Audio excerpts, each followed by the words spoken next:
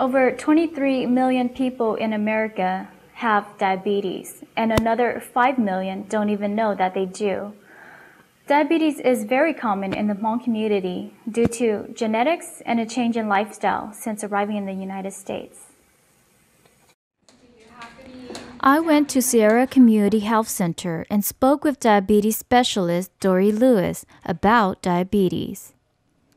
Symptoms like extreme hunger, frequent urination, unusual thirst, extreme fatigue, blurry vision, and unusual weight loss are just some of the signs that you might be at risk of diabetes.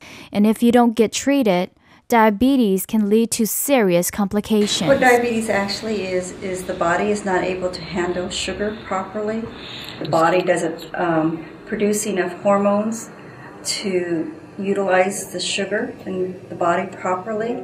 And so what happens is the sugar comes out in the urine or in the blood and can cause some problems, cause some side effects. In Laos, the Hmong never dealt with diabetes. They farmed, which required a lot of physical activity. Also, food was limited, and eating pork and fatty foods promoted survival and health. However, in the United States, with the largest fast food industry in the world, high in fat, unhealthy foods are more convenient to the younger Hmong generation. There's a real epidemic occurring with children um, because of the lack of exercise and excessive food that we have available to them. Over 1.6 million new cases of diabetes are diagnosed each year. Type 2 diabetes is the most common form for Asian Americans. Type 1 diabetes means that the patient doesn't produce any insulin at all. So the patient would have to take insulin injections. They'd have to take shots. Type 2 diabetes means that the patient actually does produce insulin, but it either is not working effectively for them. And so sometimes if they change their eating habits, exercise, or take oral medications or insulin, that they can control their diabetes that way. So, many have to constantly check their blood sugar level, take their medication, and watch what they eat and drink. This is a glucose meter. Um, you do need strips, lancets, um, to check your blood with. And then also you need a lancet device to poke your finger. The lancet is right underneath there. Okay, and I'm putting this in there. So this is ready to go. And the next thing I'm going to do is if you put the strip directly into the meter, you can see most of them will have barcodes and you stick barcode into the meter and it will usually turn on the meter. And that's showing the code of the meat of the strips, which confirmation that it's the correct mm-hmm. code.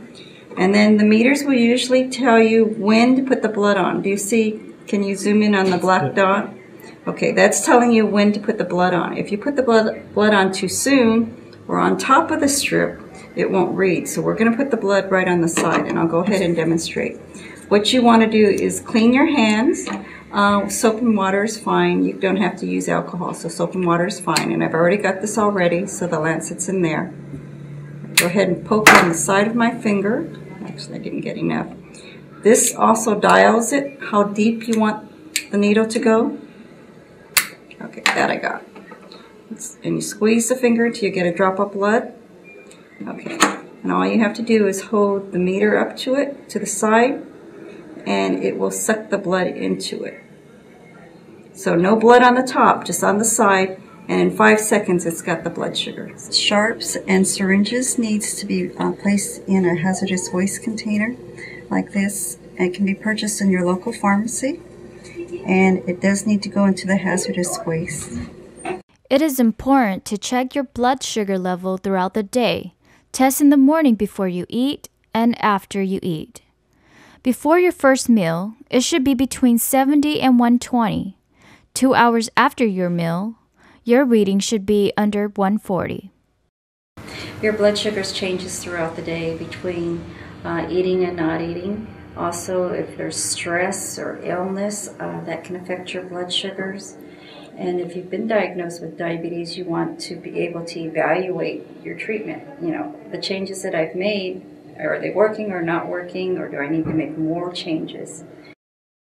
Ask your doctor about A1C, which measure your average blood glucose level over the last three months, and get your A1C checked twice a year.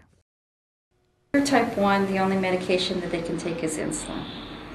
If they're type 2 diabetes, then the first medication is usually an oral pill called metformin.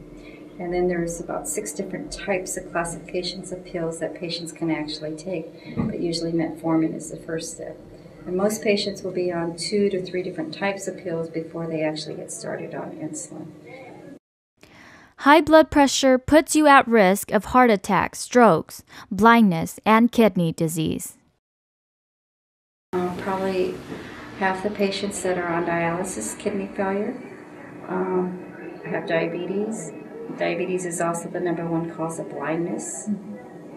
Um, probably half the patients with uh, heart surgeries, open heart surgeries, have had have diabetes. So these are all the complications that occur if you don't control your diabetes.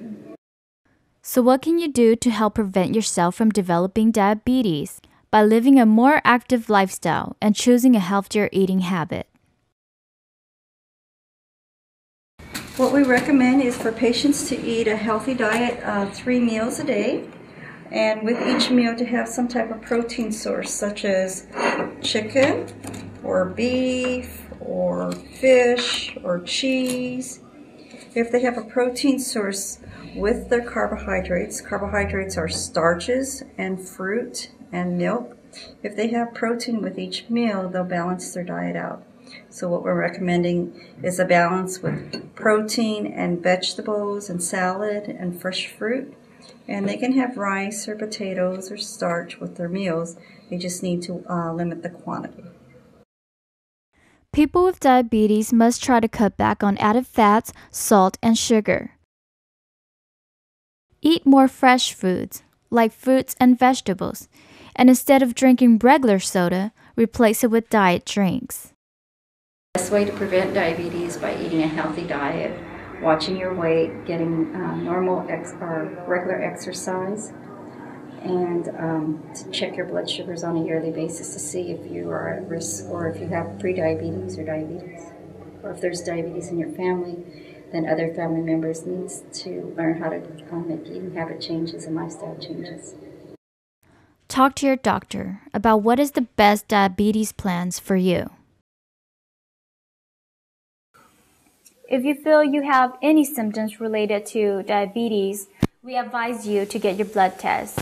You should talk to your physician or get more information at the community health center. They also have classes available for those living with diabetes.